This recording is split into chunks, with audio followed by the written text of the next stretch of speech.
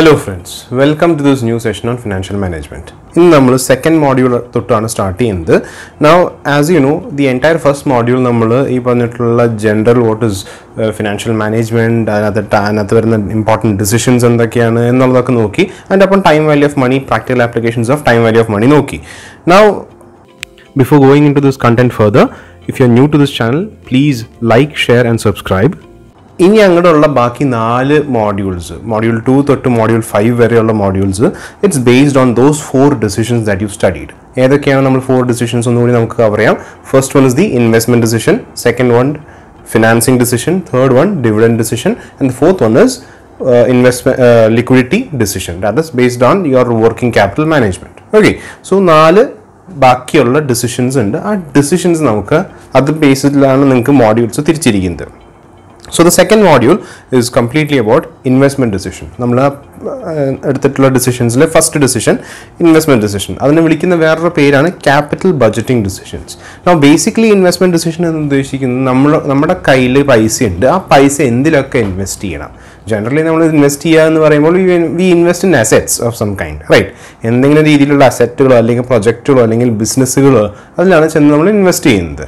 അപ്പോൾ ആ ഇൻവെസ്റ്റ്മെന്റ് തന്നെ രണ്ട് രീതിയിലാണ് പ്രൈം ആയിട്ട് വരുന്നത്. ഒന്ന് ലോങ് ടേം അസറ്റ്സുകളിലേക്കും രണ്ടാമത് ഷോർട്ട് ടേം അസറ്റ്സുകളിലേക്കും ലോങ് ടേമിനെയാണ് നമ്മൾ ക്യാപിറ്റൽ ബഡ്ജറ്റിംഗ് എന്ന് പറയുന്നത്. അതുകൊണ്ട് തന്നെ അത് മാത്രം ഒരു സെപ്പറേറ്റ് ഫംഗ്ഷൻ ഇപ്പോൾ നമ്മൾ ഇൻവെസ്റ്റ്മെന്റ് ഡിസിഷൻ എന്ന് പറയുമ്പോൾ it is primarily capital budgeting പക്ഷേ ശരിക്കും പറഞ്ഞാൽ ഇൻവെസ്റ്റ്മെന്റ് ഡിസിഷൻ എന്ന് പറയുമ്പോൾ it involves capital budgeting and working capital management that is the fourth decision അപ്പോൾ നമ്മളത് സെപ്പറേറ്റ് ആയിട്ട് പഠിക്കുന്നത് ഈ ഒരു കേസിൽ so will stick to the investment decision or ഈ ഒരു കേസിൽ നമ്മൾ പറയുന്നത് capital budgeting decisions now let's start with a small meaning what is a what is capital budgeting according to rm lynch capital budgeting consists of planning the employment of available capital for the purpose of maximizing long term profitability of the firm ആ definition ഈ പറഞ്ഞിട്ടുള്ള definition നല്ലൊരു ഡെഫിനേഷനാണ് by R M Lynch നമ്മൾ അതിനകത്ത് പറഞ്ഞത് എന്നിട്ട് planning the എം എംപ്ലോയ്മെന്റ് ഓഫ് അവൈലബിൾ ക്യാപിറ്റൽ നമ്മുടെ കയ്യിൽ കുറച്ച് ക്യാപിറ്റൽ ഉണ്ട് അല്ലെങ്കിൽ ഫണ്ട്സ് ഉണ്ട്.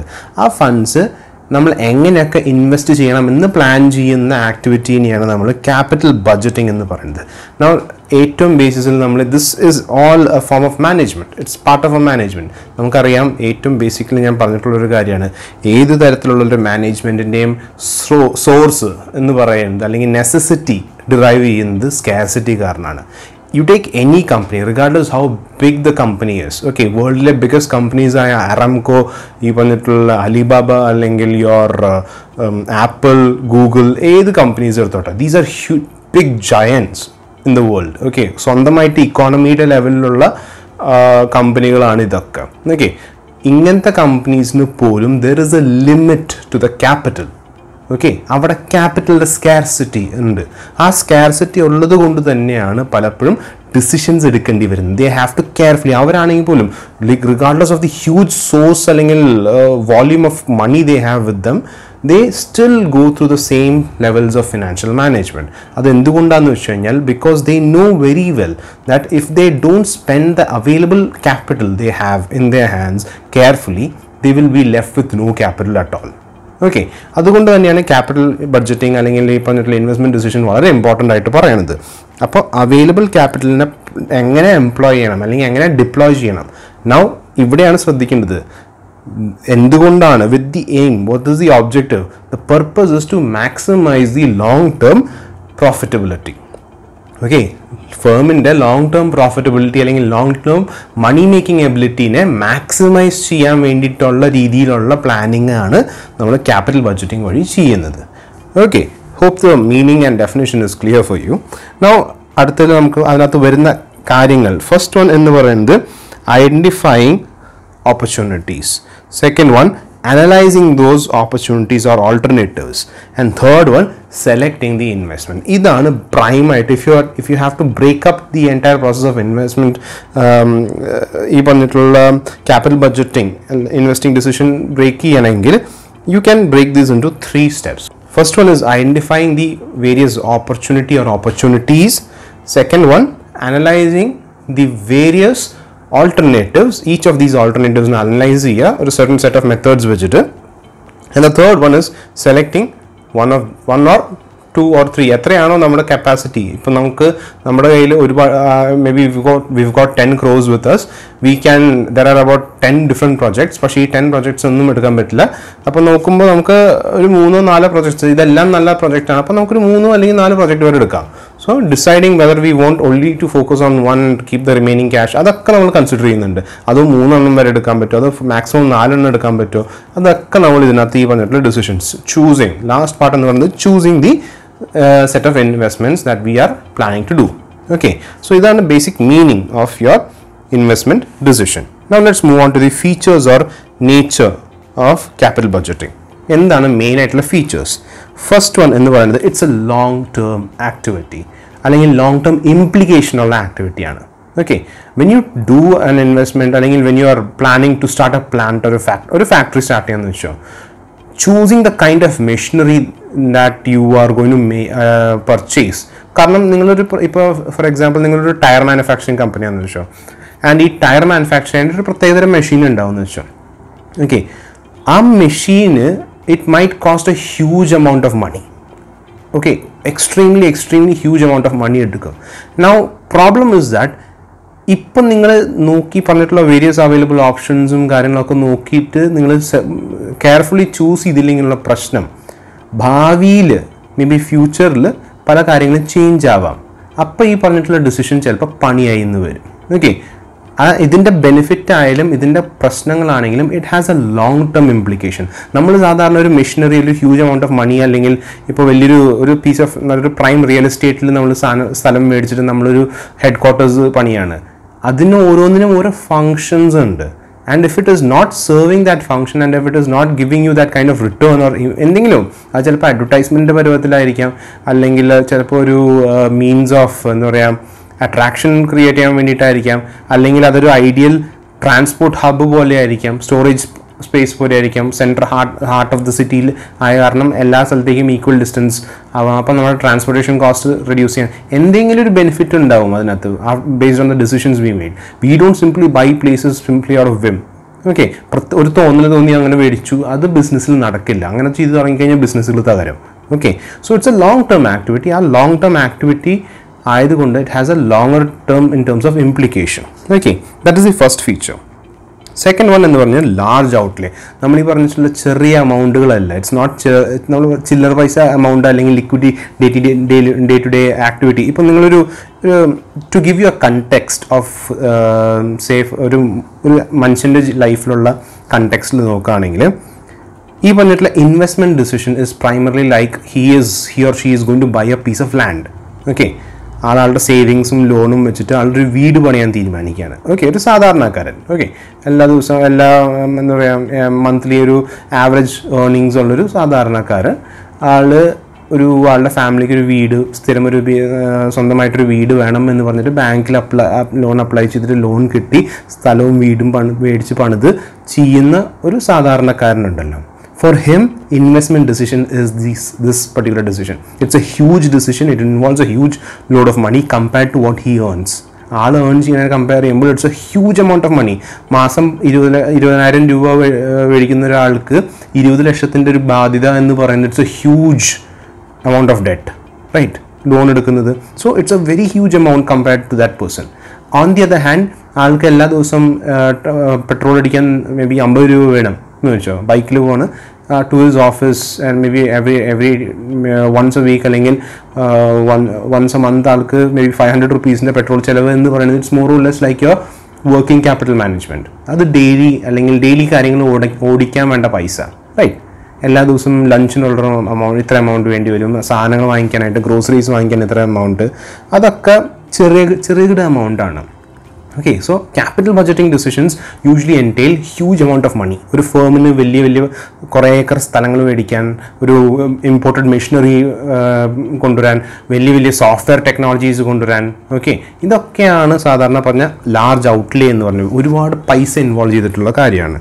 Then next one current funds for future benefits നമ്മൾ ഇന്ന് ഇടുന്ന പൈസ അത് ഭാവിയിലേക്ക് വേണ്ടിയിട്ടാണ് റൈറ്റ് ഫ്യൂച്ചറിൽ റിട്ടേൺസ് കിട്ടാൻ വേണ്ടിയിട്ടാണ്. നമ്മളൊരു വലിയ ബിസിനസ് സ്റ്റാർട്ട് ചെയ്യുന്നു. എന്റെ കയ്യിൽ പത്ത് ലക്ഷം രൂപയുണ്ട്. ഒരു കുറേ ആളായിട്ട് ഞാൻ സേവ് ചെയ്യുന്ന എമൗണ്ടാണ് ആ സേവ് ചെയ്യുന്ന എമൗണ്ട് ഒക്കെ കൂടി ഞാൻ ബിസിനസ്സിലേക്ക് തള്ളാണ്. അത് എന്തിനു വേണ്ടിയിട്ട്? ഇന്ന് എനിക്ക് റിട്ടേൺസ് കിട്ടാൻ വേണ്ടിയിട്ടല്ല. നാളെ മറ്റന്നാൾ one year from now two year from now ten years from now twenty years from now എന്റെ ആ ഇട്ട എമൗണ്ട് ഗ്രോ ചെയ്ത് ഗ്രോ ചെയ്ത് ബിസിനസ് ഡെവലപ്പായി എനിക്ക് ഇങ്ങനെ ഇങ്ങനെ ഇങ്ങനെ പൈസ വന്നുകൊണ്ടിരിക്കണം. ഓക്കെ ഇന്ന് വരണം എന്നല്ല പറയണേ. നാളെ മറ്റന്നാൾ ആ ഫ്യൂച്ചർ ഡേറ്റിൽ നമ്മൾ ഇന്നൊരു ഒരു കട സ്റ്റാർട്ട് ചെയ്തു. നിങ്ങളൊരു ബൊട്ടീക്ക് സ്റ്റാർട്ട് ചെയ്തു. അല്ലെങ്കിൽ ഒരു ചെറിയൊരു ഷോപ്പ് സ്റ്റാർട്ട് ചെയ്തു. ആ ഷോപ്പ് ഇന്ന് സ്റ്റാർട്ട് ചെയ്ത് നിങ്ങൾ നിങ്ങളുടെ കയ്യിലുണ്ടായിരുന്ന പൈസ അത്യാവശ്യം ഇതിനകത്തേക്ക് ഇറക്കി. നിങ്ങളുടെ സേവിങ്സ് ഇതിനകത്തേക്ക് ഇറക്കി. ഇറക്കി കഴിഞ്ഞിട്ട് നിങ്ങൾക്ക് ഇന്ന് തന്നെ എല്ലാം തിരിച്ചു പിടിക്കാൻ നോക്കുക ഇല്ല. ആരും അങ്ങനെ ചെയ്യില്ല. എല്ലാ ഈ ബിസിനസ് ചെയ്യുന്ന എല്ലാവർക്കും അറിയാം. That is not a possibility okay അപ്പോൾ അതിന് പകരം എന്താണ്? You you expect that shop to give you returns over a duration നമ്മൾ നമ്മുടെ നമ്മുടെ മനസ്സിലുണ്ടാവും. ചിലപ്പോൾ അടുത്തൊരു ടെൻ ട്വന്റി തേർട്ടി ഇയേഴ്സ് ഈ ഷോപ്പ് അതേപോലെ തന്നെ ഉണ്ടാവും. അപ്പോൾ ആയിക്കോട്ടെ ആ ടെൻ ട്വന്റി തേർട്ടി ഇയേഴ്സിൽ നമുക്ക് ഇങ്ങനെ വരുമാനം ഇങ്ങനെ വന്നുകൊണ്ടിരിക്കും. റിട്ടേൺസ് ഇങ്ങനെ വന്നുകൊണ്ടിരിക്കും എന്നുള്ളതാണ് നമ്മുടെ expectations okay then benefits over a number of year അതിന്റെ ബെനിഫിറ്റുകൾ നേരത്തെ പറഞ്ഞ current funds over future benefits for future benefits എന്ന് പറയുന്ന പോലെ തന്നെയാണ് ഇതും. ബെനിഫിറ്റ്സ് ഒരു ഒറ്റ ദിവസം കൊണ്ടോ അല്ലെങ്കിൽ ഒരു- വർഷം കൊണ്ടോ അല്ലെങ്കിൽ രണ്ട് വർഷം കൊണ്ടല്ല. It goes over a number of years നിങ്ങൾക്ക് നിങ്ങളുടെ ഒരു ഒരു പുതിയ മെഷീനറി മേടിച്ചു. ആ മെഷീനറിയുടെ ബെനിഫിറ്റ് നിങ്ങൾക്ക് ഒരു ദിവസം രണ്ട് ദിവസം അല്ല കിട്ടുക. ഒരുപാട് വർഷം അതിന്റെ ബെനിഫിറ്റ് നിങ്ങൾക്ക് എൻജോയ് ചെയ്യാൻ പറ്റും. Okay so large amount of money നമ്മൾ ഇപ്പോൾ ഇട്ടാലും അതിന്റെ ബെനിഫിറ്റുകൾ നമുക്ക് കിട്ടുന്നത് കുറേ വർഷത്തേക്കായിരിക്കും. Then high degree of risk yes high degree of risk എന്ന് പറയുന്നത് കാരണം നേരത്തെ പറഞ്ഞ ഈ രണ്ട് statements point three and point four എന്താണ് എല്ലാം ബെനിഫിറ്റുകൾ ഫ്യൂച്ചറിൽ നിന്നാണ് നമുക്ക് കിട്ടുന്നത് right so what is the first thing in when we spoke about time value of money future is uncertain right അത് തന്നെയാണ് ഇവിടെയും ഏറ്റവും വലിയൊരു റിസ്ക് എന്ന് പറയുന്നത്. കാരണം ഏറ്റവും ഫസ്റ്റ് സെക്കൻഡ് പോയിന്റ് എന്തായിരുന്നു? ലാർജ് ഔട്ട്ലി ഒരുപാട് പൈസ വരുന്നൊരു കാര്യമാണ്. ഈ ഒരുപാട് പൈസ നമ്മൾ ഇന്നാണ് തള്ളുന്നത് ബിസിനസ്സിലേക്ക് അപ്പോൾ ബിസിനസ്സിലേക്ക് ഇട്ട് ഒരുപാട് പൈസ ഇട്ടു രണ്ട് ദിവസം അല്ലെങ്കിൽ ഒരു വർഷം കഴിഞ്ഞപ്പോൾ എന്തോ ഒരു പ്രശ്നം കാരണം നമ്മുടെ ബിസിനസ് തകരേണ്ട ഒരു സിറ്റുവേഷൻ അല്ലെങ്കിൽ എന്തെങ്കിലും പ്രോബ്ലം വരുന്ന സിറ്റുവേഷനിൽ എന്താണ് സംഭവിക്കുന്നത്? നമ്മൾ ഇട്ട ഇൻവെസ്റ്റ്മെന്റ് മുഴുവൻ ഒറ്റയടിക്ക് ചിലപ്പോൾ ആവിയായി പോകാനായിട്ടുള്ള സകല സാധ്യതയും ഉണ്ട്. Right so there is a high degree of risk associated with this Sixth one it is irreversible. Now it's not 100% irreversible. Let's be frank on that capital budgeting decisions പൊതുവേ നമ്മൾ ഇറിവേഴ്സിബിൾ ഇൻ നേച്ചർ എന്ന് പറയാൻ കാരണം it involves a huge amount of money let's agree on that പലപ്പോഴും കമ്പനികൾക്ക് ഈ പറഞ്ഞിട്ടുള്ള huge amount of മണി എങ്ങനെയോ ഒന്നാമതേ അവർ കഷ്ടപ്പെട്ടിട്ടാണ് കൊണ്ടുവരുന്നത് okay so once a decision is made once it has been implant, uh, implemented once it, the funds have been released into the business of this particular investment നമുക്ക് ആ പൈസ തിരിച്ച് കിട്ടാൻ വളരെ പാടാണ് ഓക്കെ സോ ഇങ്ങനൊരു എടുത്ത തീരുമാനം പിന്നീട് നമ്മൾ റിവേഴ്സ് ചെയ്യുക എന്ന് പറയുമ്പോൾ it will be even more costly okay ഇപ്പം നേരത്തെ പറഞ്ഞ വീട് മേടിച്ചൊരു എക്സാമ്പിൾ പറയുകയാണെങ്കിൽ കഷ്ടപ്പെട്ട് ബുദ്ധിമുട്ടി ഒരു ലോണൊക്കെ ഇത് വെച്ചിട്ട് നമ്മളൊരു വീട് മേടിച്ചു. Okay now we are thinking that location is not good അങ്ങനെ ഒരുപാട് ഇഷ്യൂസ് വന്ന് തുടങ്ങുന്നുണ്ട്. പെട്ടെന്ന് ആൾക്ക് ട്രാൻസ്ഫർ വരെ എന്തെങ്കിലും ഒരു കാര്യം വരുമ്പോൾ ഇതൊരു kind of like a dead investment പോലെയാവും. Right അപ്പോൾ what what else can he do ഇപ്പോൾ വേണമെങ്കിൽ if if possible if he can raise little more funds he'll try that and try to do another investment പക്ഷേ it is even more costly to raise even more funds മനസ്സിലായോ? അതുകൊണ്ട് തന്നെ it is not completely irreversible പക്ഷേ എന്നിരുന്നാൽ പോലും irreversible എന്ന് പറയാൻ ഒരുവിധം കാര്യങ്ങളിൽ ഇത് ഇറിവേഴ്സിബിൾ എന്ന് പറയാൻ കാരണം നമ്മുടെ കയ്യിൽ ഫണ്ട്സിന്റെ ഷോർട്ടേജ് ഉണ്ടാവും. രണ്ടാമത് raising more funds can be even more expensive അതുകൊണ്ടാണ് പലപ്പോഴും ഒരു ninety ninety five percent of the time capital budgeting irreversible എന്ന് പറയാൻ കാരണം ഇറ്റ് ബിക്കോസ് ഓഫ് ദിസ് നമ്മ lack of funds otherwise additional funds raise ചെയ്യുന്നത് അല്ലെങ്കിൽ ആ മിസ്റ്റേക്ക് കറക്റ്റ് ചെയ്യേണ്ടി വരുന്ന വരുന്ന സാഹചര്യത്തിൽ ഈവൻ മോർ ഫണ്ട്സ് നമ്മൾ ഡിപ്ലോയ് ചെയ്യേണ്ടി വരുന്നുണ്ട്. Clear so this is the reason it is called irreversible then long term gestation period no gestation period എന്ന് ആ വാക്ക് നിങ്ങളെല്ലാവരും മനസ്സിലാക്കേണ്ട ഒരു വാക്കാണ്. ജസ്റ്റേഷൻ പീരീഡ് എന്ന് പറയുന്നത് it's a period where profit generate ചെയ്ത് തുടങ്ങാൻ അല്ലെങ്കിൽ റിട്ടേൺസ് ജനറേറ്റ് ചെയ്ത് തുടങ്ങുന്ന സമയം. ഓക്കെ ഒരു ബിസിനസ്സിന് റിട്ടേൺസ് അല്ലെങ്കിൽ പ്രോഫിറ്റ്സ് ജനറേറ്റ് ചെയ്ത് തുടങ്ങാനായിട്ട് കുറച്ച് ടൈം എടുക്കും ചില ബിസിനസ്സുകൾ സോ ആ ജസ്റ്റേഷൻ പീരീഡിനെ ആ പീരീഡിനെയാണ് നമ്മൾ ജസ്റ്റേഷൻ പീരീഡ് എന്ന് പറയുന്നത്. സോ പലപ്പോഴും ക്യാപിറ്റൽ ബഡ്ജറ്റിംഗ് ഡിസിഷൻസിന് ഈ പറഞ്ഞിട്ടുള്ള പ്രോഫിറ്റ് അതായത് നമ്മുടെ ഇട്ട കോസ്റ്റ് കവർ ചെയ്ത് കിട്ടാനായിട്ടുള്ള ടൈം ഉണ്ടല്ലോ. അത് ശകലം കൂടുതലാണ്. Okay so then moving on to the role and importance എന്തുകൊണ്ടാണ് capital budgeting decisions extremely important ആണെന്ന് പറയാൻ കാരണം? Let's look at it one by one the first importance എന്ന് ഫസ്റ്റ് പോയിന്റ് എന്ന് പറയുന്നത് it's a huge investment huge investment ആയതുകൊണ്ട് തന്നെ ഒരു വലിയൊരു തോതിൽ പെർമനൻസി ഉണ്ട് നേച്ചറിൽ നമുക്ക് പെട്ടെന്ന് പെട്ടെന്ന് ഹ്യൂജ് എമൗണ്ട്സ് ഇടയ്ക്കിടയ്ക്ക് റേസ് ചെയ്യാൻ വളരെ ബുദ്ധിമുട്ടാണ്. പലപ്പോഴും കമ്പനികൾ ഈ പറഞ്ഞ പോലെ ഐ പി ഒക്കെ റേസ് ചെയ്തിട്ടാണ് ഓരോ ഓരോ രീതിയിലുള്ള ജൈഗാന്റിക് എക്സ്പാൻഷൻ പ്ലാൻസ് നടത്തുന്നത്. ഇപ്പോൾ ഈ കഷ്ടപ്പെട്ട് തന്നെ ഒരു വട്ടം ഐ പി ഒ നമുക്ക് ഇടയ്ക്കിടയ്ക്ക് അല്ലെങ്കിൽ എഫ് പി ഒ ആയിട്ട് ഇടയ്ക്ക് നടത്താൻ ബുദ്ധിമുട്ടാണ്. കാരണം ആൾക്കാരുടെ ഇന്ന് ഇടയ്ക്കിടയ്ക്ക് ചോദിക്കുക എന്ന് പറയുമ്പോൾ ആൾക്കാരുടെ മനസ്സിലൊരു പെർസെപ്ഷൻ ഈ കമ്പനിക്കാർക്ക് എന്താ പറ്റിയത് ഇടയ്ക്കിടയ്ക്ക് ഉണ്ടല്ലോ ഈ പറഞ്ഞ ഓണർഷിപ്പ് കൊടുക്കാൻ. അതായത് എല്ലാത്തിനും ഒരു പരിധിയുണ്ട്. സോ അതുകൊണ്ട് തന്നെ ഈ പറഞ്ഞിട്ടുള്ള ഐ പി ഒസും എഫ് ഒസും പിന്നെ ഡെറ്റ് വാങ്ങി കടം വാങ്ങിക്കൂട്ടുക എന്ന് പറയുമ്പോൾ ഒരു പരിധിയുണ്ട് എല്ലാത്തിനും. So it's a huge investment അതുകൊണ്ട് തന്നെ പെർമനന്റ് സി നേച്ചർ ഉള്ളത് കൊണ്ട് തന്നെ it's a very important fact നമുക്കത് we can't take it lightly okay അപ്പോൾ അതിനകത്ത് അതിന്റെ പുറകിലുള്ള ഡിസിഷൻസ് എല്ലാം തന്നെ വളരെ ഇമ്പോർട്ടന്റ് ആണ്. വളരെ ഹ്യൂജ് ഇൻവെസ്റ്റ്മെന്റ്സും ഒരു വലിയ പരിധി വരെ ഇറിവേഴ്സിബിൾ ആണ്. Okay second one long term implications നമ്മൾ ഇന്ന് എടുക്കുന്ന ഡിസിഷൻ ഇന്ന് നാളെ മറ്റന്നാൾ അങ്ങനെയല്ല. Two years down the line three years down the line five years down the line ten years down the line ഈ പറഞ്ഞിട്ടുള്ള ഓർഗനൈസേഷന്റെ കപ്പാസിറ്റീസിന്റെ വേരിയസ് ലെവലിലുള്ള കപ്പാസിറ്റീസ് പ്രൊഡക്ഷൻ കപ്പാസിറ്റി ആവാം മാർക്കറ്റിംഗ് എബിലിറ്റി ആവാം അല്ലെങ്കിൽ ഈ പറഞ്ഞിട്ടുള്ള ഓപ്പറേഷണൽ എബിലിറ്റീസ് ആയിരിക്കാം എല്ലാത്തിനെയും ബാധിക്കുന്ന കാര്യങ്ങളാണ്. പ്രോഫിറ്റബിലിറ്റി ഇതെല്ലാം ബാധിക്കുന്നത്. ദെൻ ഇറിവേഴ്സിബിൾ ഡിസിഷൻ അത് പിന്നെ എടുത്ത് പറയേണ്ട ആവശ്യമില്ല. Been explaining that over and over again irreversible എന്ന് പറയാൻ കാരണം it involves a huge amount of money and ഈ ഹ്യൂജ് എമൗണ്ട് ഓഫ് മണി കമ്പനികൾക്ക് ഇടയ്ക്കിടയ്ക്ക് റേസ് ചെയ്യാനുള്ള ബുദ്ധിമുട്ടുണ്ട്. അതുകൊണ്ട് തന്നെ once you invest a lot of money into that പിന്നീട് വേറെ പൈസ റേസ് ചെയ്യുക അത് തെറ്റായി പോയെങ്കിൽ നമുക്കത് തിരിച്ചു മേടിക്കാൻ ചിലപ്പോൾ പറ്റിയെന്ന് വരില്ല. തിരിച്ചു മേടിച്ചാൽ തന്നെ ഈവൻ ഇഫ് ഈ sell of the machinery or anything we will have to do it at a loss പിന്നെ വേറെ അടുത്ത മെഷീനറി മേടിക്കുക എന്ന് പറയുമ്പോൾ വീണ്ടും കുറേ പൈസ റേസ് ചെയ്യാൻ നോക്കണം. That's all problematic then risk already explained about risk risk എന്ന് പറയാൻ കാരണം എന്താ?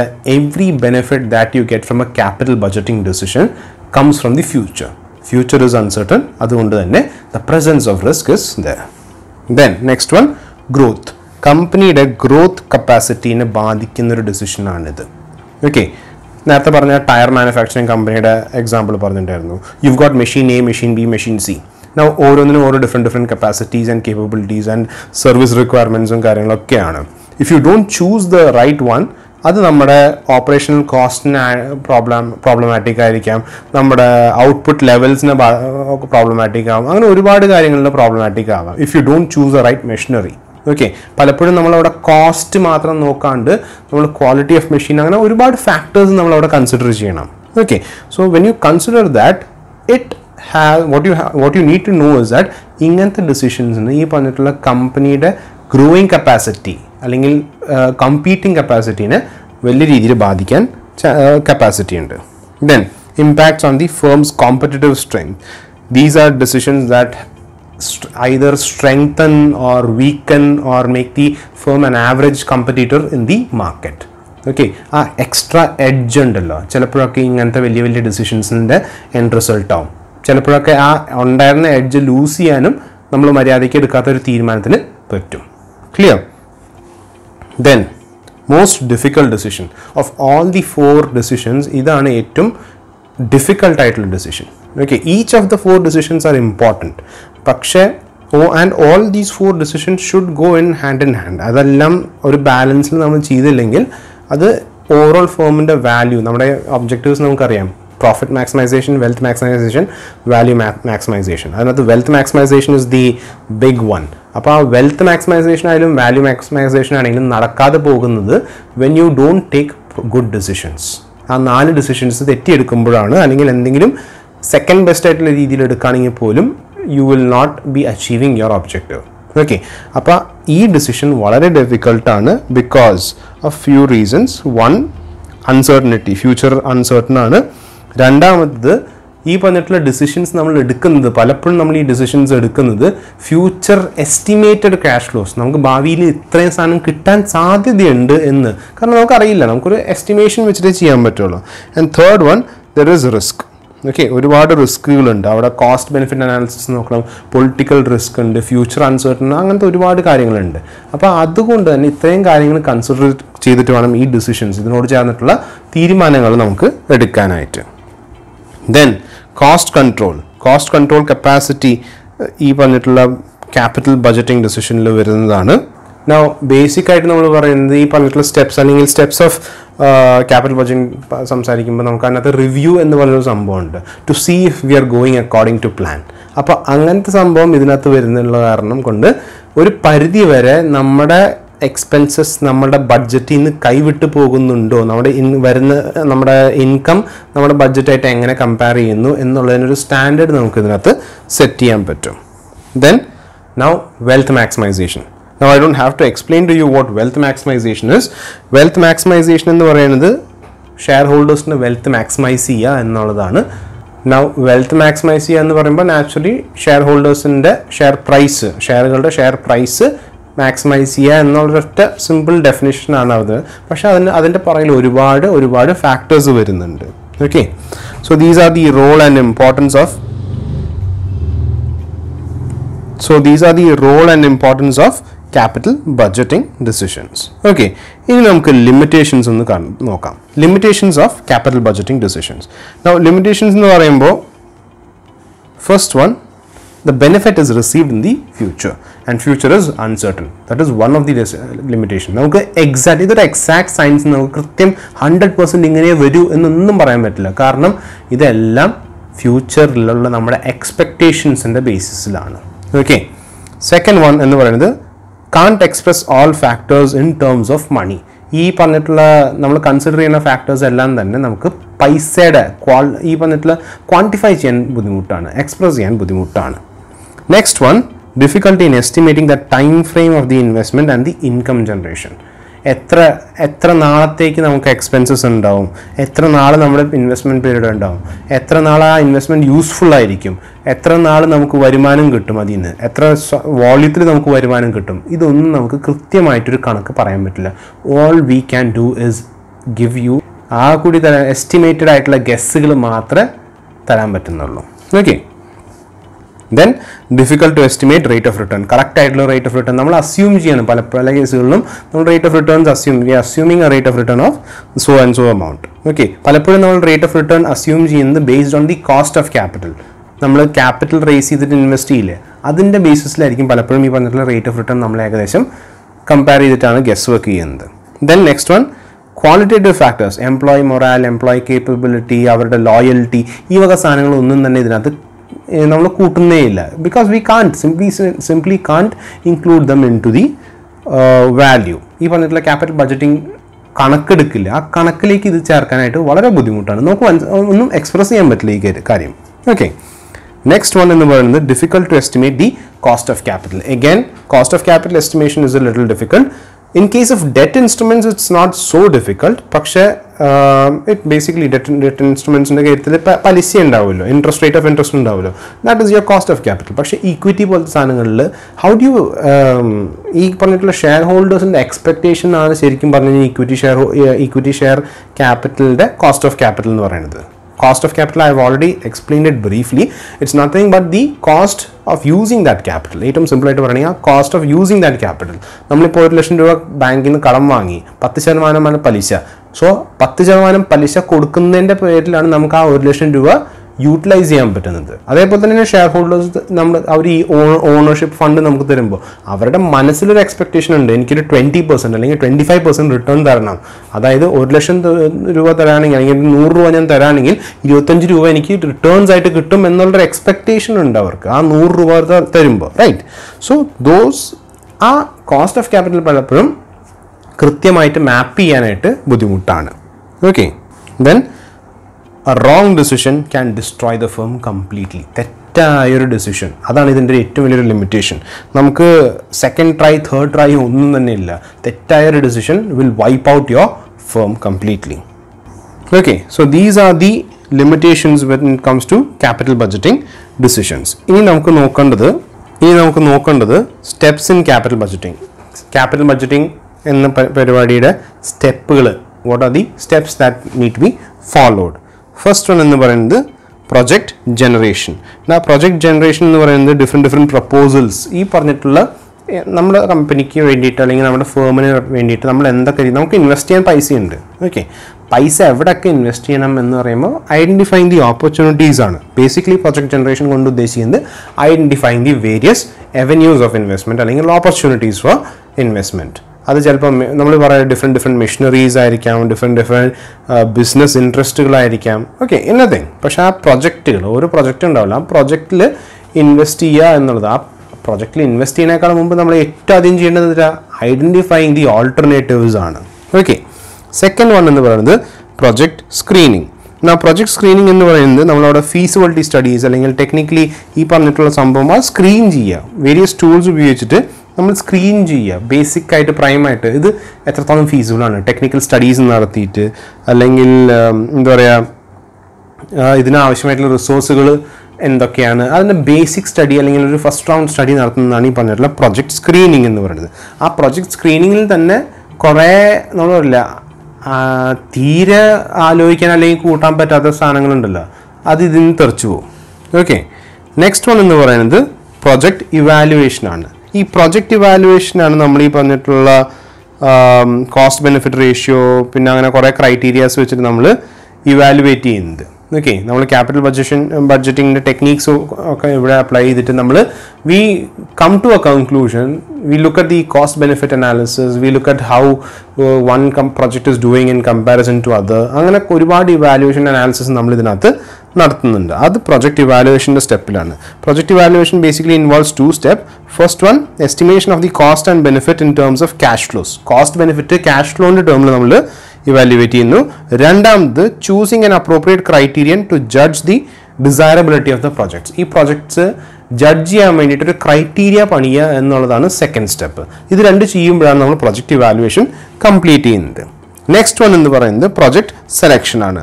ഇതിനകത്ത് നമ്മൾ ചെയ്യുന്നത് based on our evaluations we choose അല്ലെങ്കിൽ we select one of the projects then next one എന്ന് പറയുന്നത് project execution and implementation once you made a selection നമ്മൾ അത് എക്സിക്യൂട്ട് ചെയ്യുക നമ്മൾ ഇത് ഇംപ്ലിമെന്റ് ചെയ്യുക we run the project we invest money into that project okay next one എന്ന് പറയുന്നത് പെർഫോമൻസ് റിവ്യൂ പെർഫോമൻസ് റിവ്യൂ എന്ന് പറയുമ്പോൾ this is a as you know this is എന്താ പറയുക ലോങ് ടേം പ്രോഗ്രാം ഈ ലോങ് ടേം പ്രോഗ്രാമിൽ പലപ്പോഴും എന്താ ചെയ്യണമെന്ന് വെച്ച് കഴിഞ്ഞാൽ we have to do frequent frequent runnings നമ്മൾ ചെക്ക് ചെയ്യും ഇത് എങ്ങനെയുണ്ട്? ഇത് നമ്മൾ ഉദ്ദേശിച്ച പോലെ തന്നെയാണോ? നമ്മൾ ഉദ്ദേശിച്ച ഫസ്റ്റ് ഇയർ എൻഡിൽ ഇത്രയും ക്യാഷ് ഫ്ലോ കിട്ടും. ഇത്രയും ക്യാഷ് ഫ്ലോ സെക്കൻഡ് ഇയറിൽ കിട്ടും. ഇത്രയും ഇൻഫ്ലോ തേർഡ് ഇയറിൽ കിട്ടും. അതൊക്കെ അതേപോലെ തന്നെ കിട്ടുന്നുണ്ടോ എന്നുള്ള ഇവാലുവേഷനാണ് നമ്മൾ ഇവിടെ നടത്തുന്നത്. So steps in capital budgeting എന്ന് പറയുന്നത് project generation project screening project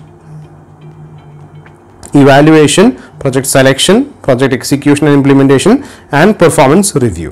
Okay, so these are the steps in capital budgeting. Okay അടുത്ത് നമ്മൾ നോക്കാൻ പോകുന്നത് considerations in determining cash flow cash flow determine ചെയ്യാനായിട്ട് നമ്മൾ ഉപയോഗിക്കുന്ന അല്ലെങ്കിൽ ക്യാഷ് ഫ്ലോയിൽ ഡിറ്റർമൈൻ ചെയ്യുന്ന കുറച്ച് ഫാക്ടേഴ്സ് ഉണ്ട്. അത് ഏതൊക്കെയാണെന്ന് നമുക്കൊന്ന് നോക്കാം. ഫസ്റ്റ് വൺ എന്ന് പറയുന്നത് cash flows or the accounting profit okay cash flows നമുക്ക് ഈ പറഞ്ഞിട്ടുള്ള ഇവാലുവേഷൻ പരിപാടി നടത്താനായിട്ട് നമുക്ക് ഒന്നെങ്കിൽ ഡയറക്റ്റ്ലി ക്യാഷ് ഫ്ലോ യൂസ് ചെയ്യാം. അല്ലെങ്കിൽ അക്കൗണ്ടിങ് പ്രോഫിറ്റ് യൂസ് ചെയ്യാം now ക്യാഷ് ഫ്ലോ അല്ലെങ്കിൽ അക്കൗണ്ടിങ് ബെനിഫിറ്റ് രണ്ടിനും ഓരോന്നും it's slightly different Now, cash flow takes into account the non-cash expenses like depreciation while estimating the future benefit, but accounting does not take into account non-cash expenses. In other words, cash flow is the sum of accounting profit and depreciation. Now, ഈ ഒരു ആസ്പെക്റ്റിൽ അല്ലെങ്കിൽ evaluation ആസ്പെക്റ്റിൽ നോക്കുകയാണെങ്കിൽ കുറച്ചുകൂടി broader term എന്ന് പറയുന്നത് cash flows ആണ്. കാരണം അതിനകത്ത് ഡിപ്രീസിയേഷൻ പോലത്തെ non non cash items consider ചെയ്യുന്നുണ്ട്. Okay so for proper evaluation ഈ പറഞ്ഞിട്ടുള്ള സംഭവം ക്യാഷ് ഫ്ലോസ് ആണ് കുറച്ചുകൂടി better than accounting profit second one എന്ന് പറയുന്നത് incremental cash flows no incremental cash flows എന്ന് വെച്ച് കഴിഞ്ഞാൽ these are cash flows that have അല്ലെങ്കിൽ that can directly affect the decisions investment ഡിസിഷനെ ബാധിക്കാൻ സാധ്യതയുള്ള ക്യാഷ് ഫ്ലോകളെയാണ് നമ്മൾ ഇൻക്രിമെന്റൽ ഡിസിഷൻ ക്യാഷ് ഫ്ലോസ് എന്ന് പറയുന്നത്. Now for determining incremental cash flow നമ്മൾ കുറച്ച് സാധനങ്ങൾ കുറച്ച് സബ് പോയിന്റുകൾ നമ്മൾ കൺസിഡർ ചെയ്യണം. ഒന്ന് സങ്ക് കോസ്റ്റ് സങ്ക് കോസ്റ്റ് എന്ന് വെച്ച് കഴിഞ്ഞാൽ cost which is already in incurred and irrevocable irrevocable എന്ന് പറയുന്നത് നമുക്ക് തിരിച്ചെടുക്കാൻ പറ്റില്ല. റീഫണ്ട്സ് ഇല്ല. Okay it's already done you can't it's irreversible second one എന്ന് പറയുന്നത് ഓപ്പർച്യൂണിറ്റി കോസ്റ്റ് ആണ്. ഓപ്പർച്യൂണിറ്റി കോസ്റ്റ് എന്ന് വെച്ച് കഴിഞ്ഞാൽ you have to consider the cost of the next best alternative നമ്മൾ നമ്മൾ എക്കണോമിക്സിൽ പഠിച്ചിട്ടുള്ളൊരു കോസ്റ്റാണ് economic opportunity cost so that is also considered third one എന്ന് പറയുന്നത് ടൈം വാല്യൂ ഓഫ് മണിയാണ് നമ്മൾ കൺസിഡർ ചെയ്യുന്നത് ഫോർ യുവർ ക്യാഷ് ഫ്ലോസ് ഒരു നല്ല evaluation techniques often considers time value of money now why എന്ന ക്വസ്റ്റ്യനിൽ നിങ്ങൾ ശ്രദ്ധിക്കേണ്ട ഒരു കാര്യം നമ്മൾ ബെനിഫിറ്റ്സ് ഈ പറഞ്ഞിട്ടുള്ള ഓൾറെഡി ഡിസ്കസ് ചെയ്തിട്ടുണ്ട്. Benefits that we receive from investment decision investment ഒരു ഇൻവെസ്റ്റ്മെന്റ് ഡിസിഷൻ എടുത്തു. അതിന്റെ ബെനിഫിറ്റുകൾ നമുക്ക് ഇന്ന് ഇന്ന് തന്നെയല്ല കിട്ടുന്നത്? ഫ്യൂച്ചറിൽ കിട്ടുന്നത്. അതുകൊണ്ട് തന്നെ ആ ഫ്യൂച്ചറിൽ കിട്ടുന്നത് കൊണ്ട് തന്നെ we have to consider the time value of money next one എന്ന് പറയുന്നത് വർക്കിംഗ് ക്യാപിറ്റൽ വർക്കിംഗ് ക്യാപിറ്റൽ എന്ന് പറയുന്നത് ഡേ ടു ഡേ റിക്വയർമെന്റ്സിന് വേണ്ടിയിട്ടുള്ള ആ എമൗണ്ടുകളും നമ്മൾ ആ എക്സ്പെൻസുകളും നമ്മൾ കൺസിഡർ ചെയ്യണം. Then various other things that we consider taxes നമ്മൾ കൺസിഡർ ചെയ്യണം. ഓക്കെ കാരണം എന്താ? ടാക്സസ് ഈ പറഞ്ഞിട്ടുള്ള നമ്മുടെ ഇൻഫ്ലോസിന്റെ ബേസിസിൽ വരുന്ന കാര്യങ്ങളാണ്. ദെൻ എഫക്റ്റ് ഓഫ് ഡിപ്രീസിയേഷൻ നമ്മൾ കൺസിഡർ ചെയ്യണം. അത് നമ്മൾ നാച്ചുറലി ക്യാഷ് ഫ്ലോയിൽ കൺസിഡർ ചെയ്യുന്നുണ്ട്. പക്ഷേ ഇറ്റ്സ് നമ്മൾ സെപ്പറേറ്റ് ആയിട്ട് എടുത്തു പറയുന്നു. Then proceeds from the sale of asset നമ്മൾ ആ അസെറ്റ് എന്താ പറയുക സ്റ്റാർട്ടിങ്ങിൽ നമ്മളൊരു അസെറ്റ് റീപ്ലേസ് ചെയ്തിട്ട് ചെയ്യുമ്പോഴും ആണെങ്കിൽ നമുക്ക് സ്ക്രാപ്പ് കിട്ടും. അതല്ലാണ്ട് നമ്മളിപ്പോൾ യൂസ് ചെയ്യുന്ന സംഭവം നമ്മൾ പിന്നീട് end of be six years അല്ലെങ്കിൽ ഫൈവ് ഇയേഴ്സ് അതിന്റെ ലൈഫ് തീരുന്നതനുസരിച്ച് നമ്മളത് വിൽക്കാൻ നോക്കും. അപ്പോൾ സ്ക്രാപ്പ് അവിടെയും കിട്ടും. Okay so sale of asset അവിടെ ഉണ്ട് then effect of overhead cost and other indirect expenses ഡയറക്റ്റും other indirect expenses എല്ലാം തന്നെ നമ്മൾ ഇതിനകത്ത് കൺസിഡർ ചെയ്യുന്നു. കാരണം ഈ ഇൻഡയറക്റ്റ് എക്സ്പെൻസുകളെല്ലാം തന്നെ നമ്മുടെ ക്യാഷ് ഫ്ലോന്റെ വലിപ്പം കൂട്ടാനും കുറയ്ക്കാനും പറ്റും. Okay so those are the considerations ഇനി നോക്കേണ്ടത് ടൈപ്സ് ഓഫ് ക്യാഷ് ഫ്ലോ ആണ്. ഏതൊക്കെ തരം ക്യാഷ് ഫ്ലോസ് ഉണ്ട് എന്നുള്ളതാണ് നമ്മൾ നോക്കേണ്ടത്. ഫസ്റ്റ് വൺ എന്ന് പറഞ്ഞ് ഇനീഷ്യൽ ക്യാഷ് ഫ്ലോ അതിനെ വിളിക്കുന്ന വേറെ പേരാണ് ഇനീഷ്യൽ ഔട്ട്ലേ അല്ലെങ്കിൽ initial investment this is the first thing now basically സാധാരണഗതിയിൽ ഈ ഇനീഷ്യൽ ഇൻവെസ്റ്റ്മെന്റ് അല്ലെങ്കിൽ ആദ്യം വരുന്ന എമൗണ്ട് ഉണ്ടല്ലോ. It's an outflow business ബിസിനസ്സിൽ നിന്ന് പുറത്തേക്ക് പോകുന്ന സാധനമാണ്. ബേസിക് ആയിട്ട് നമുക്കറിയാം ക്യാഷ് ഫ്ലോ എന്ന് പറഞ്ഞാൽ രണ്ട് രീതിയിലുണ്ട്. ക്യാഷ് ഇൻഫ്ലോ ഉണ്ട് ബിസിനസ്സിന്റെ അകത്തേക്ക് വരുന്നതും ക്യാഷ് ഔട്ട്ഫ്ലോ ഉണ്ട് ബിസിനസ് പുറത്തേക്ക് പോകുന്നതും. Okay so initial cash flow എന്ന് പറയുന്നത് it's usually it's a outflow ബിസിനസ്സിൽ നിന്ന് പുറത്തേക്ക് പോകുന്നത്. നമ്മൾ മെഷീനറി മേടിക്കുമ്പോൾ നമ്മുടെ കയ്യിലുള്ള പൈസ പുറത്തേക്ക് പോവാണ്. പകരം നമുക്ക് മെഷീനറി കിട്ടുന്നു. Clear next one is net annual cash flows or operating cash flows ഇത് സാധാരണഗതിയിൽ നിങ്ങളുടെ ആനുവൽ അല്ലെങ്കിൽ സെമി ആനുവലി അല്ലെങ്കിൽ എപ്പോഴെങ്കിലും നമുക്ക് ഫ്യൂച്ചറിൽ നമുക്ക് കിട്ടുന്ന റവന്യൂസ് ഉണ്ടല്ലോ. Generally it is the revenues that is considered ഇതിനകത്ത് വരുന്ന റവന്യൂസ് ആണ് സാധാരണ അഡീഷണൽ റവന്യൂസ് ആവാം. ക്യാഷ് സേവിങ്സ് ഇൻ ഓപ്പറേഷൻസ് ആവാം. അങ്ങനെ ഒരുപാട് കാര്യങ്ങൾ. അതിന്റെ ഒപ്പം തന്നെ നമ്മൾ കൺസിഡർ ചെയ്യും. ബാക്കിയുള്ള ഈ ഡിപ്രീസിയേഷൻ ടാക്സ് അങ്ങനത്തെ എക്സ്പെൻസുകളെല്ലാം തന്നെ നമ്മൾ ഇതിനകത്ത് കൺസിഡർ ചെയ്യുന്നുണ്ട്. ഇന്ന് third one is the terminal cash flow terminal cash flow എന്ന് വെച്ച് കഴിഞ്ഞാൽ ലാസ്റ്റ് ഇയറിൽ സംഭവിക്കുന്ന ക്യാഷ് ഫ്ലോസ് ആണ്. അത് ഏതൊക്കെയാണെന്ന് വെച്ച് കഴിഞ്ഞാൽ പ്രധാനപ്പെട്ടത് ഈ വന്നിട്ടുള്ള ടെർമിനൽ ക്യാഷ് ഫ്ലോയിൽ മെയിൻ ആയിട്ട് വരുന്ന ഒന്ന് സാൽവേജ് അല്ലെങ്കിൽ സ്ക്രാപ്പ് വാല്യൂ വഴി നമുക്ക് കിട്ടുന്ന എമൗണ്ട് ആയിരിക്കാം. രണ്ടാമത്തത് നമ്മുടെ ഈ പറഞ്ഞിട്ടുള്ള പരിപാടി നമ്മൾ അവസാനിപ്പിക്കുകയാണ്. അപ്പോൾ ആ പരിപാടിക്ക് വേണ്ടിയിട്ടുള്ള അല്ലെങ്കിൽ ആ പർട്ടിക്കുലർ ഇൻവെസ്റ്റ്മെന്റ് റൺ ചെയ്യാൻ വേണ്ടിയിട്ടുള്ള വർക്കിംഗ് ക്യാപിറ്റൽ ഇനി തൊട്ട് നമുക്ക് വേണ്ട. സോ അതും ഇതിനകത്ത് നമ്മൾ കൺസിഡർ ചെയ്യുന്നത്. So these are the three types of cash flows initial cash flow net annual cash flow or operating cash flow terminal cash flow okay ഇനി നമുക്ക് നോക്കേണ്ടത് ഇൻവെസ്റ്റ്മെന്റ് അപ്രൈസൽ മെത്തേഡ്സ് ഏതൊക്കെയാണ്? This is a very important aspect ഇനി എവിടെ നിന്ന് അങ്ങോട്ടുള്ളതാണ് problem സെക്ഷൻസിലേക്ക് വരുന്നത്. പക്ഷേ ഇന്നത്തെ വീഡിയോ ഞാൻ ഇപ്പോൾ അവസാനിപ്പിക്കാൻ പോകുന്നത് ഈ ഒരു സ്ലൈഡും കൂടി കാണിച്ചിട്ടാണ്. ഈ സ്ലൈഡിൽ ഞാൻ ബേസിക് ആയിട്ട് മെത്തേഡ്സ് ലിസ്റ്റ് ഔട്ട് ചെയ്യാണ്. പറ്റുമെങ്കിൽ ചെറിയ ബ്രീഫ് ഇൻട്രോ അതിനെക്കുറിച്ച് ഞാൻ തരുന്നു. Okay nothing more than that അടുത്ത സെഷനിൽ നമ്മൾ പറഞ്ഞിട്ടുള്ള വീഡിയോ അടുത്ത വീഡിയോയിലും അടുത്ത രണ്ട് വീഡിയോസും ഇതിനെക്കുറിച്ചുള്ള രണ്ട് മെത്തേഡ്സ് ഉണ്ട്. അപ്പോൾ ഇൻവെസ്റ്റ്മെന്റ് അപ്രൈസൽ മെത്തേഡ് ജനറലി എന്ന് പറയുന്നത് നമ്മൾ ആ പ്രോജക്റ്റിനെ ഇവാലുവേറ്റ് ചെയ്യുക എന്നുള്ളതാണ്. Now as you know decisions based on ഇൻവെ based on the investment decisions നമുക്ക് ഈ പറഞ്ഞിട്ടുള്ള ഡിസിഷന്റെ ഒരു പ്രത്യേകത എന്ന് പറഞ്ഞു കഴിഞ്ഞാൽ it's a huge amount of investment രണ്ടാമത്തെ കാര്യം അതിന്റെ ബെനിഫിറ്റുകളൊക്കെ ഫ്യൂച്ചറിലാണ് കിട്ടുന്നത്. Clear so since we do that നമുക്ക് ഈ മെത്തേഡുകളെ രണ്ട് രീതിയിൽ ഇവാലുവേറ്റ് ചെയ്യാം. ഒന്ന് by considering the time value of money and by not considering the time value of money okay traditional മെത്തേഡിൽ നമ്മൾ time value of money consider ചെയ്യില്ല. ഓക്കെ ട്രഡീഷണൽ മെത്തേഡിൽ നമ്മൾ time value of money consider ചെയ്യില്ല. അതുകൊണ്ട് തന്നെയാണ് നമ്മൾ അതിനെ നോൺ ഡിസ്കൗണ്ടിങ് ടെക്നീക്ക് എന്ന് പറയുന്നത്. As you know time value of മണിയിലെ basic രണ്ട് ടെക്നീക്സ് ആണ് ഡിസ്കൗണ്ടിങ്ങും കോമ്പൗണ്ടിങ്ങും കോമ്പൗണ്ടിങ് എന്ന് വെച്ച് കഴിഞ്ഞാൽ ഫ്യൂച്ചർ വാല്യൂ ഇന്ന് എന്റെ കയ്യിൽ സെറ്റ് ഓഫ് എമൗണ്ട് ഉണ്ട്. ഇന്ന് ഞാൻ എമൗണ്ട് ഡെപ്പോസിറ്റ് ചെയ്യുമ്പോൾ ഫ്യൂച്ചറിൽ എത്ര കിട്ടും എന്നുള്ളത് കണ്ടുപിടിക്കാനാണ് കോമ്പൗണ്ടിങ്ങും ഡിസ്കൗണ്ടിങ് എന്തിനു വേണ്ടിയിട്ടാണ്? ഭാവിയിൽ കിട്ടുന്ന ഒരു എമൗണ്ട് ഭാവിയിൽ കിട്ടുന്ന ഒരു എമൗണ്ട് ഇന്നത്തെ വാല്യൂ എത്രയാണ് എന്നുള്ളത് കിട്ടാൻ ഇന്നത്തെ പ്രസന്റ് വാല്യൂ എത്രയാണെന്ന് കിട്ടാൻ വേണ്ടിയിട്ടാണ് ഡിസ്കൗണ്ടിങ് നമ്മൾ യൂട്ടിലൈസ് ചെയ്യുന്നത്. ഏറ്റവും സിമ്പിളായിട്ട് പറയുകയാണെങ്കിൽ.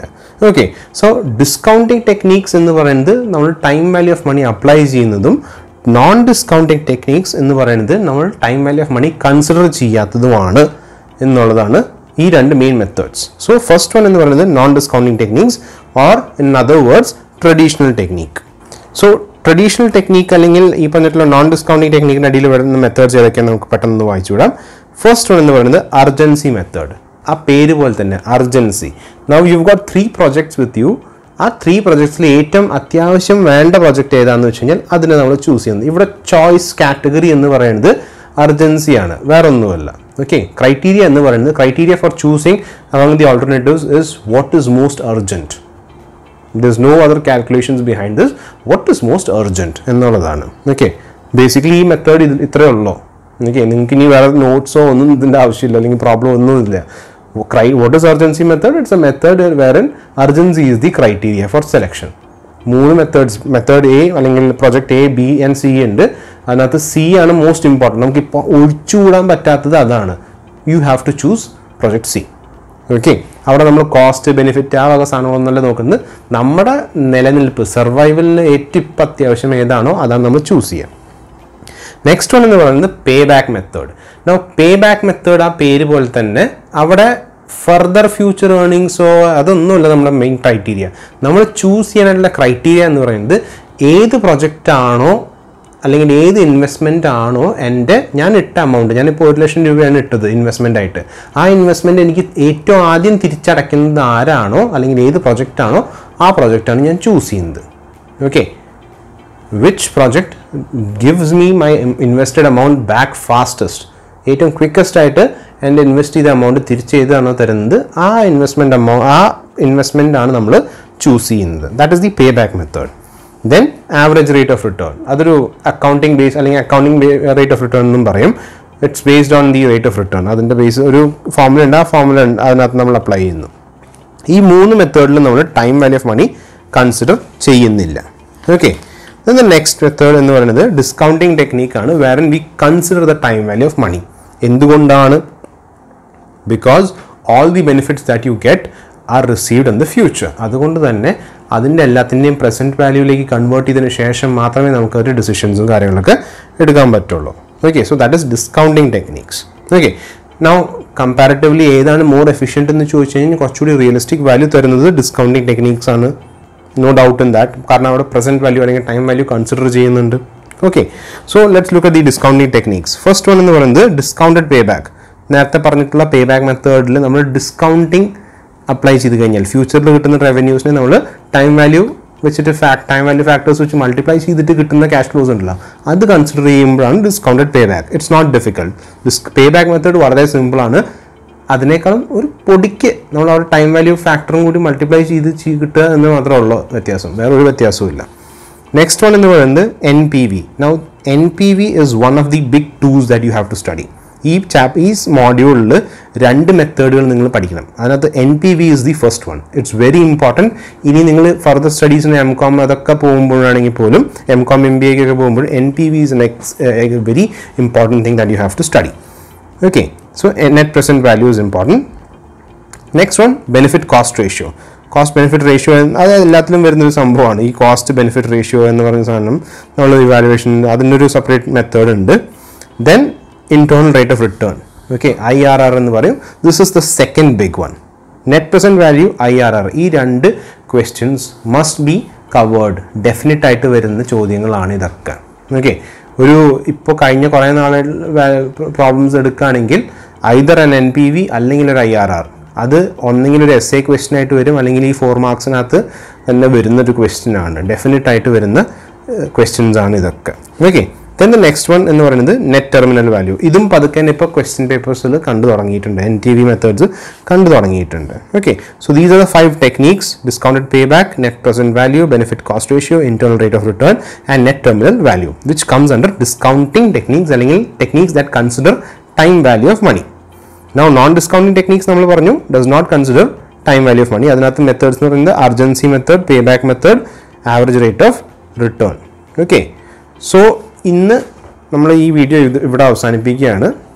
ഈ മെത്തേഡ്സ് ഇത് ഈ വീഡിയോ കംപ്ലീറ്റ്ലി നമ്മൾ തിയറട്ടിക്കൽ ആസ്പെക്റ്റാണ് കവർ ചെയ്തിട്ടുള്ളത്. ഈ മോഡ്യൂളിലെ മെജോറിറ്റി തിയറട്ടിക്കൽ ആസ്പെക്ട് നമ്മൾ ഇവിടെ കവർ ചെയ്തിട്ടുണ്ട് ഇനി അടുത്ത രണ്ട് വീഡിയോസാണ് ഇനി ഇറക്കാൻ പോകുന്നത് ഈ മോഡ്യൂളിനെ കുറിച്ച് ഒരു മോഡ്യൂളിൽ നമ്മൾ നോൺ ഡിസ്കൗണ്ടിങ് ടെക്നീക്സ് ആദ്യം കവർ ചെയ്യും അടുത്ത വീഡിയോയിൽ നമ്മൾ ഡിസ്കൗണ്ടിങ് ടെക്നീക്സ് കവർ ചെയ്യും okay with problems so hope you hope you are clear on the content. In case of any doubts, please feel free to message me on my WhatsApp number. So thank you.